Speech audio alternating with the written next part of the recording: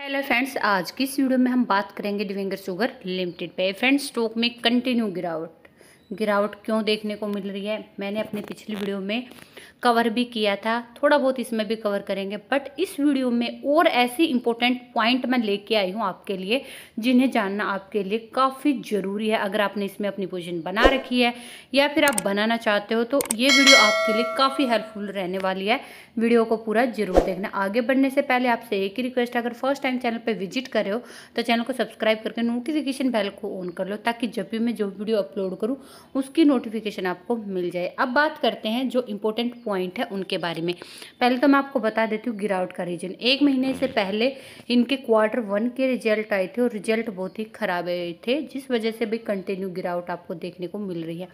और साथ ही में मैं आपको बता दूँ, पिछले क्वार्टर से इस क्वार्टर तक प्रमोटर ने अपनी होल्डिंग यहाँ पे कम की है। भाई, यहाँ पे सेवेंटी परसेंट से ज़्यादा प्रमोटर की होल्डिंग थी। अब सिक्सटी परसेंट से थोड़ी सी ज़्यादा की प्रमोटर की होल्डिंग है। यहाँ पे आप कह सकते हो टेन परसेंट के करीब प्रमोटर ने अपनी होल्डिंग कम की है। अब बात करते हैं इसके जो फंडामेंटल है, उससे रिलेटेड। स्टॉक की पीई रेशियो अभी भी 53 के आसपास है। यहीं पे अगर इंडस्ट्री पीई की बात करें तो वो 24 के आसपास की। अभी भी अगर आप इन्वेस्टमेंट करते तो अभी भी ये स्टॉक आपको महँगा मिल रहा है और बुक वैल्यू 1.08 पॉइंट रुपीज़ की इसकी बुक वैल्यू है। तो फ़िलहाल तो भाई, ये हमारा जो स्पोर्ट था आज के दिन, इसका ब्रेकडाउन ये कर रहा है। अब ब्रेकडाउन कर रहा है तो मैंने आपको बताया भी था कि भाई डेप्थ हमारी इन्वर्टेड जैसे डेप्थ बनती है, ये बन रही है। तो यहाँ पे जितनी ये एरिया है ब्रेकआउट के ब्रेकडाउन के बाद सॉरी ब्रेकडाउन के बाद उतना ही डाउन साइड आपको जाता हुआ नज़र आ सकता है। अब यहाँ पे ये ये टू पॉइंट सेवन फोर तक भी ये जाने की संभावना यहाँ पे बनी हुई है। यहाँ पे आप टू पॉइंट सेवन फोर छोड़ो थ्री तक आप ले सकते हो कि भाई आ सकता है। जो भाई चार्ट हमें दे रहा, बता रहा है।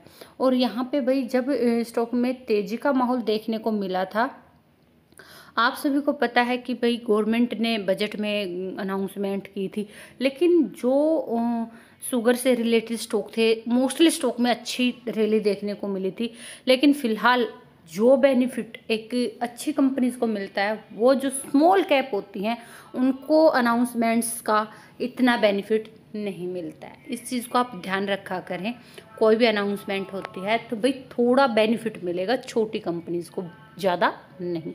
यहाँ पे भाई ब्रेकडाउन मेरे अकॉर्डिंग तो यहाँ पे कर रहा है, कल और कन्फर्मेशन मिल जाएगी।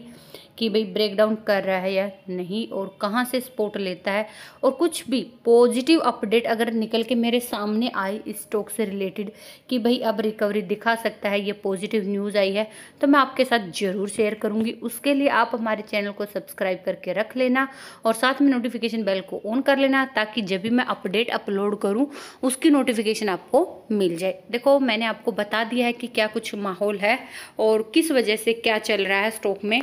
आई थिंक आपको अपने सारे जो भी डाउट थे, उनका जवाब मिल गया होगा। अगर फिर भी कोई डाउट है स्टॉक को लेके तो आप कमेंट करके पूछ सकते हो। और इस वीडियो का motive only for education purpose है। मैं किसी को पर्सनली कमेंट नहीं करती कि आप स्टॉक में बाई करो सेल करो या फिर होल्ड करो।